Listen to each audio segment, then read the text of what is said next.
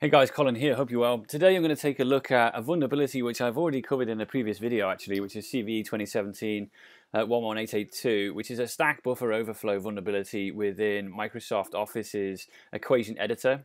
Um, so I've already taken a look at the malware side of things, but I actually wanted to take a deeper dive on the stack buffer overflow element uh, and just kind of give you a primer on buffer overflows and talk about the assembly language and how memory is laid out and how uh, bad guys overflow buffers and um, use that to their advantage in order to uh, to uh, execute code on a machine. Um, so this will be a bit of a primer uh, if you're not really familiar with low-level memory concepts, um, and we'll just kind of go over the uh, the terminology and some of the uh, kind of notation that's involved, and, and also show you in a live environment uh, the actual uh, exploit firing in the context of uh, a sample which takes advantage of this particular CVE. So we'll look at behavioral analysis. I'll talk to you about equation editor and just explain what that is in just a second. I'll show you just uh, roughly talk about the anatomy of the attack uh, and then we'll get into the meat of it in, in terms of what is a stack, what is a buffer, how do you overflow it, and then we'll go back to the malware and we'll debug it. So we'll run it again, but this time we'll run it in a debugger and we'll look at the assembly language involved so you can see kind of, kind of like how easy it is for bad guys to exploit this, um, but actually how uh, maybe complicated it might be at the same time to actually go finding these vulnerabilities and why this is uh, a super cool vulnerability that was found as part of a bit of research. Um, so let's first off do some behavioral analysis. I'm in my 32-bit Windows 7 VM here.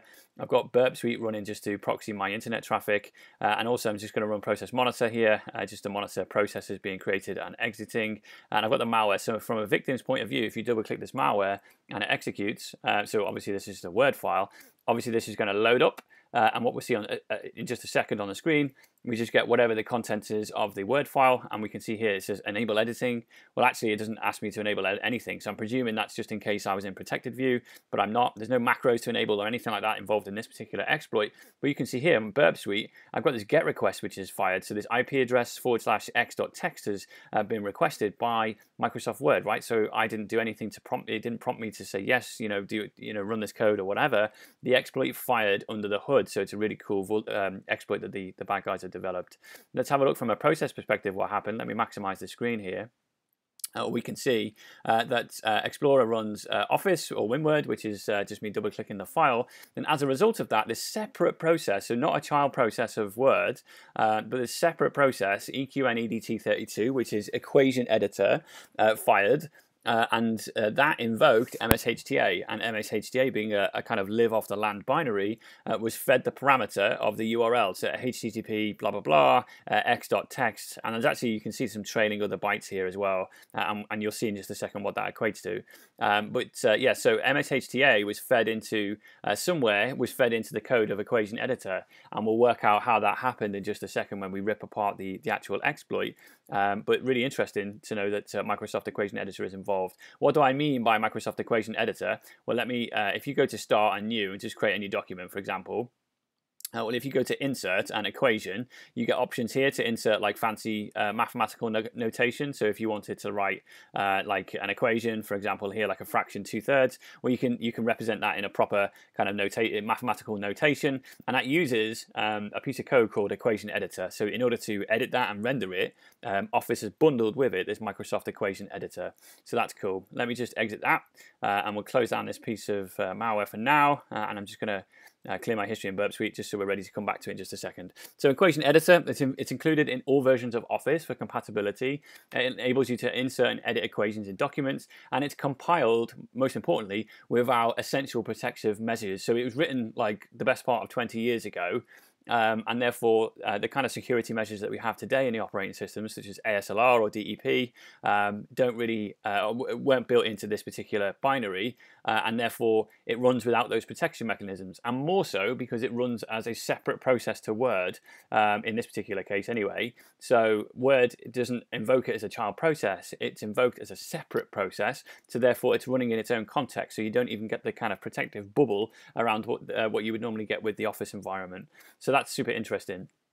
So let's have a look at the anatomy of attack. Usually what happens is you'll receive a malicious email with the attachment or a URL to go and fetch the uh, malicious payload. And it's usually, what I've seen in the wild, is a doc file or a PowerPoint file. Uh, but you, can, uh, there are definitely other variants like RTF files, obviously, uh, as well as um, Excel and, and all, all, the rest of it.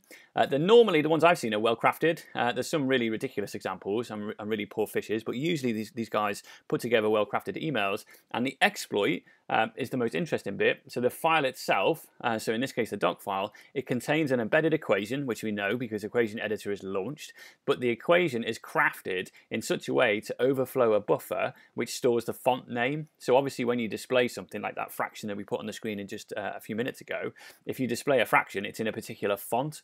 And so how the code handles that font in the background, well, first off, it's going to store that font name in a variable somewhere, and we just call that variable a buffer.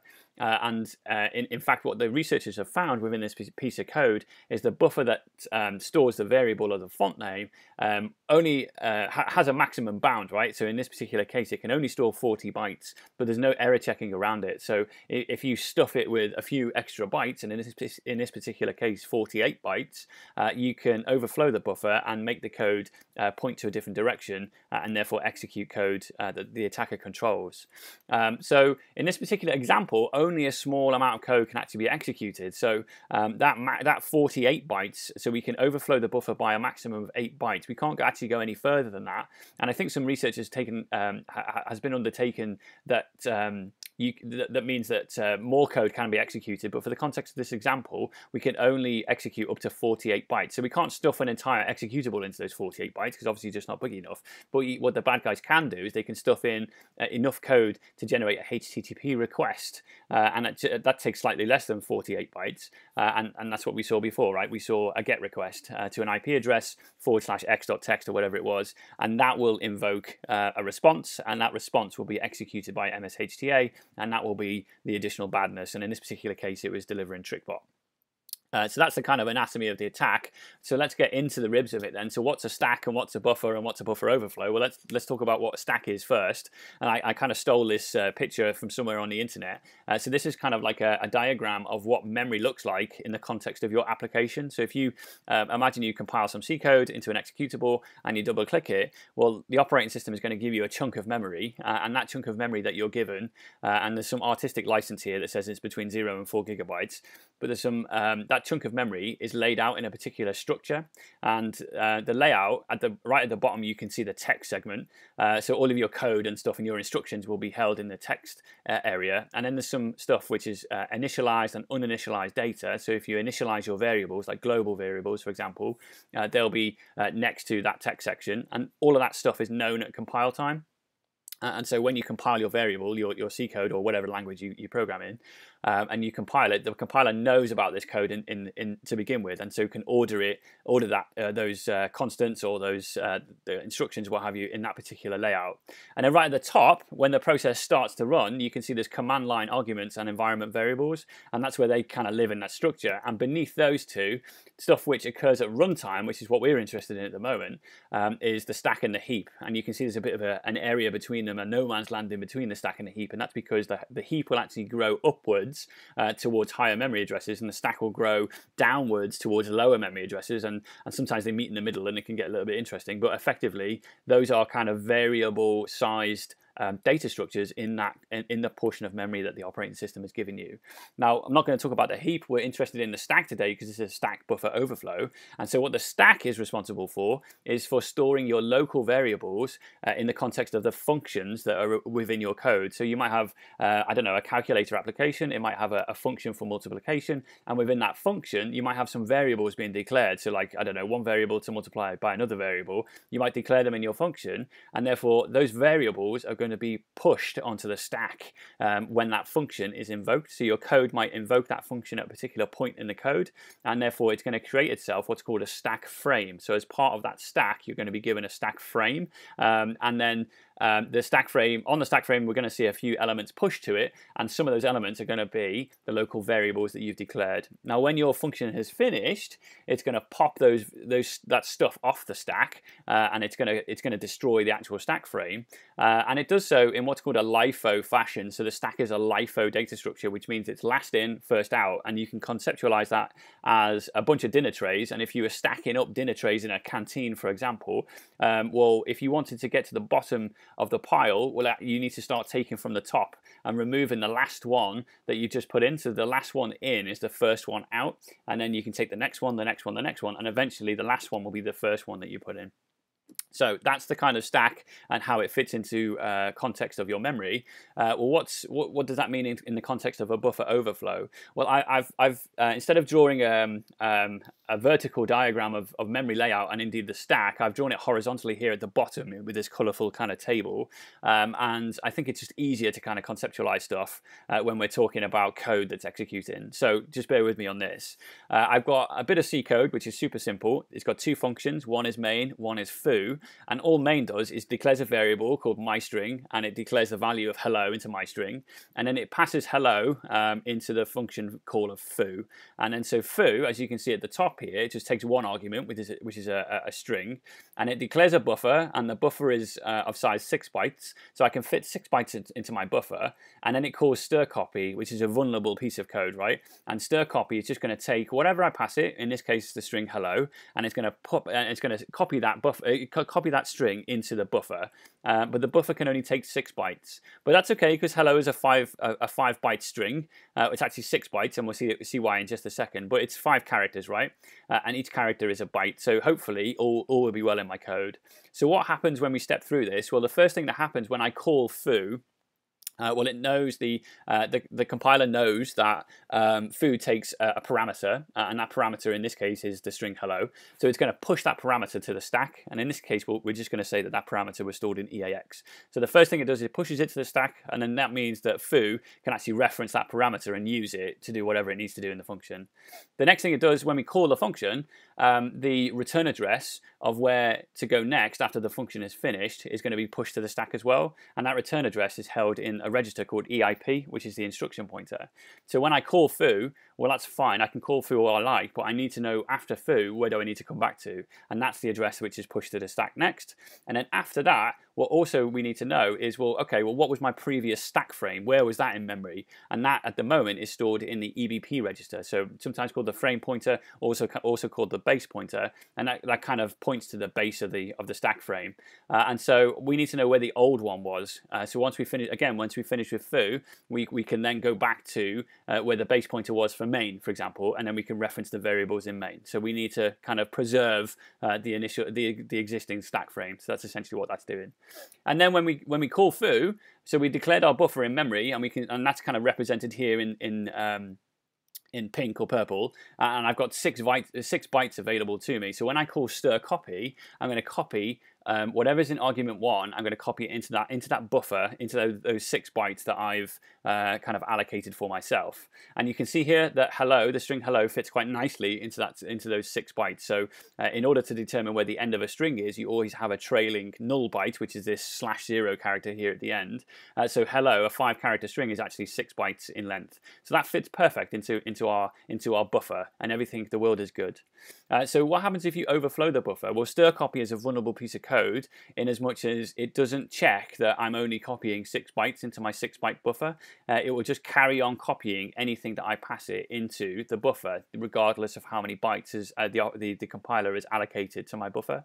Uh, and so i am only meant to have six. I was only given six by my declaration of, of buffer, um, but instead I've passed it in, in this particular example, the string hello you with an exclamation mark on the end of it. So it in fact goes to, um, you know, it overflows it by another four bytes. So what we find is we have a 10 byte string um, well, I've only got a six byte buffer, so I've overwritten the buffer by four bytes. And you can see in this particular case, because uh, EBP, which was the old stack frame pointer, was pushed to the stack, and that was immediately in memory before my, my buffer, well, I've overflowed EBP. So what's going to happen is foo's going to execute. We're going to go back to the return address, and then main just won't know, you know, the context of its old stack frame. So it's probably going to crash, and that's not a good thing.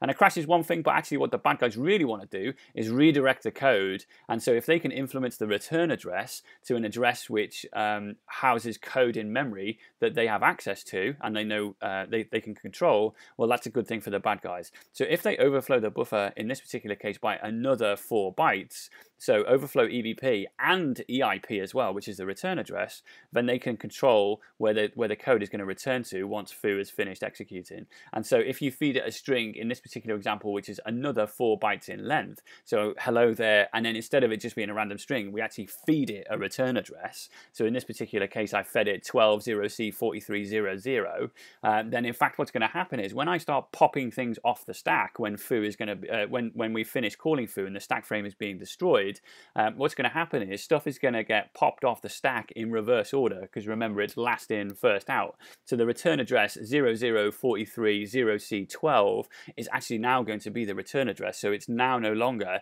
whatever it was we previously pushed to the stack in order to get back to main. The bad guys have, have um, injected their own return address and we're now going to go there into the code. So might well crash at some stage, but the return address is what's really important in this particular example. So let's take a, a, a look at in the context of this particular sample again. Uh, and let me just uh, clear out my history here in Burp Suite and so it'll become clear in just a second. I'm going to use this super cool piece of code called gflags, which will enable me to um, uh, stop or launch a debugger rather when a particular sample is uh, or a particular process is spawned. So in this in this particular case, we want to launch the debugger when equation editor is launched. Um, and so let me untick that. Let me press apply. Let me get rid of that. And so hopefully when I run the malware this time, what's going to happen is we'll get uh, x32dbg pop up, which it does it does here. Uh, and let's just go to uh, the code. I'm going to jump into where the code lives in memory. Um, once it's finished analyzing, we're about 50, 60% there. So hurry up, come on, we'll get there. Uh, and what we're going to do is let's just jump to a particular location um, for oh, six five. oops, 655. That's great. I'm going to put a breakpoint here. So a couple of pieces of um, syntax to look at here. So it might look a little bit complicated to begin with. This particular call, so we can see here, um, this is the call to a vulnerable function, and we'll talk about the function in just a second. But we have a parameter that's pushed to the function. It was stored in EAX, and it's going to push it to uh, to the stack, and then it's going to call the function. So the first thing that happens, I'm going to run it first, and we can see here, just to give you an example, we have the font name in this in this vulnerable function, and we'll talk about the buffer and stuff in just a second we can see that, for example, the string Times New Roman has been pushed uh, and it stores in EDX register. And in EAX, and we'll see in just a second, this is the length of the string, so the length of the actual font name, which is going to be stored in the buffer. And so in this particular example, it's 10. That's hexadecimal for 16 in real money. So we've got a 16 byte buffer, or a 16 byte value rather, which is going to be stored in the buffer. Now this particular buffer can only take 40 bytes. Uh, that's its maximum. And 40 in hexadecimal is 28. So it can only take this 10 hexadecimal byte buffer um, string. It fits nicely into our 28 byte uh, buffer. So all, all is well in this particular example. If I press F9 again, what I'm going to find is we now find ourselves at the call to the vulnerable function. That's great. And we can see here, so the um, whatever is in EAX was passed as a parameter to this particular function. Uh, and so what is being passed here, we can uh, follow in the dump the value in EAX. So we can see rather than it being like Times New Roman or whatever font, we can see that it's the bad guy's code, MSHTA, blah, blah, blah. And then a few other bytes as well that go with it. So 2020, 2020, blah, blah, blah. So a load of padding by the bad guys. And then we can see here 120C4300. And, and, and X32 makes it really easy for us to understand what that is. If you hover over it, you can see that it, it uh, puts it in reverse order for you, and you can see that memory address is actually where the code winexec lives. And winexec is a piece of code which can execute a function, uh, or execute a command rather, that you feed it, and we'll see that in just a second. So let's take a step through into the code here.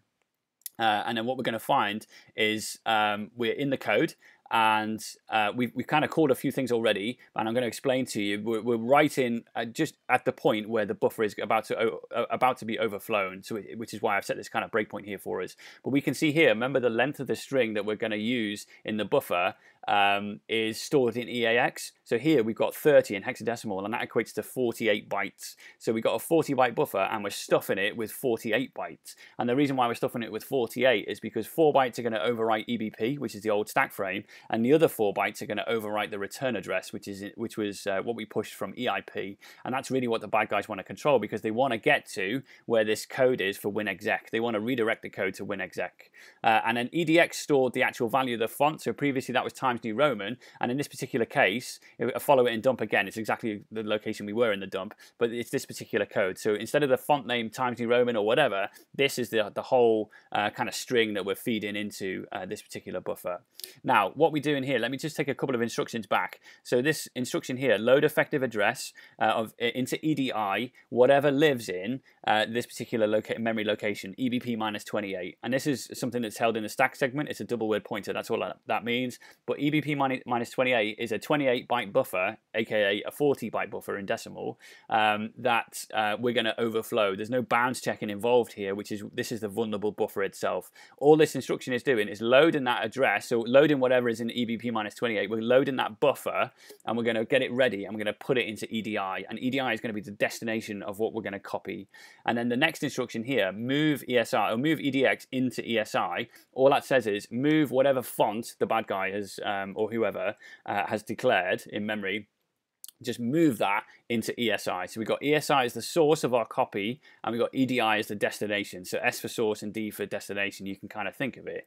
Uh, this Where I've breakpointed here, so shift right uh, by 2 ECX is just going to convert the size uh, of the buffer into into D words. So rather than treat it as bytes, it's going to it's to change it to D words. Uh, so let me do that, and you can see here that it changes it uh, in, uh, in ECX here. and then also, um, the next instruction, which is repeat until equal to zero, and then move SD. And then what move SD means, it's going to move whatever's in the EDI register. It's going to move it. Uh, sorry, whatever's in the ESI register, which is the source of our copy. It's going to move it to the EDI register until that string equals to zero. So it's a simple copy instruction. It's going to copy whatever is in uh, ESI as a source, and it's going to and it's going to move it into EDI. So you can see here that what's in the registers. We can see whatever's in ESI at the moment, which is 12F350, which is exactly the the bad guy's um, font name, which is MSHTA, obviously not a real font. Well, that's going to copy that into EDI, and then it's going to do some other stuff. But what we're going to do in the in in the process is we're going to overflow EBP. So if we have a look and follow the value of EBP in the dump, we can see it's got some value there at the moment. But actually, if we kind of step through the code uh, hopefully what we'll see is um, this execute and we can see that EBP now has 20, 20, 20 and then 12, 0C, uh, 43, 0, 0, etc, etc. Now let me just flip to the, the return of this particular code, uh, this particular function, and we can see all those 20s in EBP. And now the return address has been overflowed as well. So the next instruction, well, we find ourselves at WinExec. Well, actually, well, that's fantastic from the bad guys' point of view because WinExec was already built into this code, so they've got a win-win situation here. They just kind of pointed it to the right direction. But actually, what they've also found is that uh, because they've pushed pushed that value to the stack, uh, well, WinExec just takes whatever whatever was on the stack previous to it, it takes that as, as its parameter and is going to start executing it. So you just feed WinExec a parameter and it's just going to run it for you as a command line argument. And so what's been pushed to the stack here in our stack window, you can see 0012 F350. Well, indeed, if you remember, was exactly where the, the bad guy's font was, which is down here. Uh, so you can see, let me just uh, just jump to it a little bit clearer. So 12 uh, F350, uh, and we can see so um, the value that's been pushed to um, WinExec is MSHTA, HTTP, blah blah blah blah blah, and then but also you get the trailing stuff as well. So all of this like padding and stuff, which is those um, kind of weird bytes that we saw. So we haven't called WinExec yet. So let me just like press F8 just um, and we'll call that and you can see that just doing that one line of instruction has caused uh, that get request to perform now if I carry on the code and press F9 you can see in the bottom left here I get first chance exception blah blah blah well that's because like EVP was overwritten so like there's no context it can't reference stuff and it's, it's going to crash it's all confused now and stuff and the code's going to going to exit but guess what it doesn't really matter from the bad guy's point of view because um, the fun stuff has already happened we've already seen the get request occur as well so that's how you overflow a buffer and that's how you do it in real life i've talked to you about some context around it as well and some theory and stuff. So hopefully that's of use to you, uh, and hopefully that gives you a bit more of a primer into buffer overflows. Thanks, guys.